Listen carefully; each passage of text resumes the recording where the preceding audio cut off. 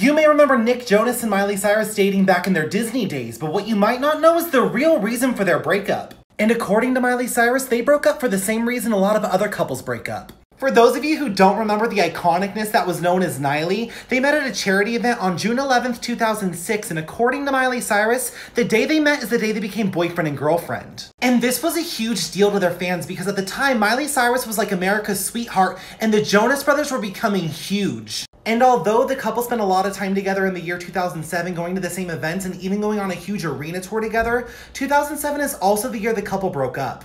And Miley spilled all the tea in her book Miles to Go. Miley said in her book that her and Nick broke up on December 19th, 2007. Miley said that the breakup was really hard for her because for two years, Nick was her 24 7, and they just couldn't hide it from anyone anymore and they could not stop fighting. But did they end up getting back together just two years later? Like for part two because let me tell you, things get super scandalous.